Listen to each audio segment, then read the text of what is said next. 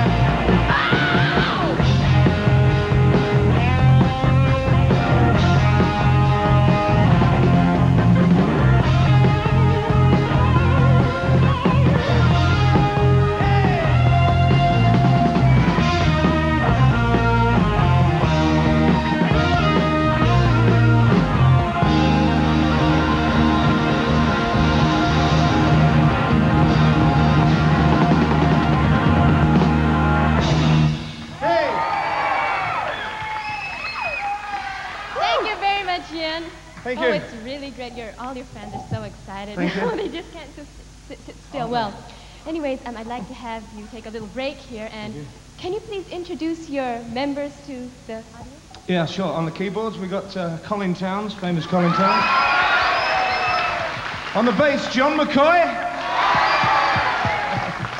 On the drums, we got Pete Barnacle. Woo! and on the guitar, Steve Bird. Woo! えーメンバーを紹介していただいたところでですね、えーメンバーの中に、えー菜食主義の方が一人とブルース・リーの大ファンの方がいらっしゃるそうなのでちょっと面白いから聞いてみましょう。Um, I heard that um, one of your members is a vegetarian. Who, who is that? things, yeah, Yeah. Steve Bird. He's a vegetarian. Eats vegetables all the time. えー彼が、えー菜食主義の、えー方だそうです。えー and there's one more who loves Bruce Lee, I heard.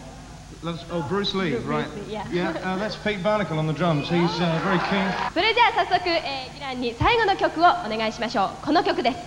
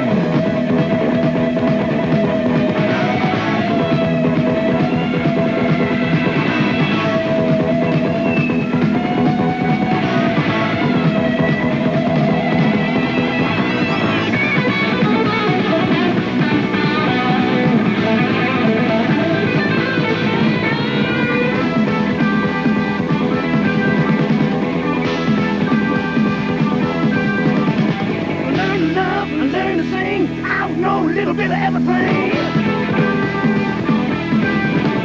But the message in the Bible, I was standing on a rock. Seven other galaxies are running out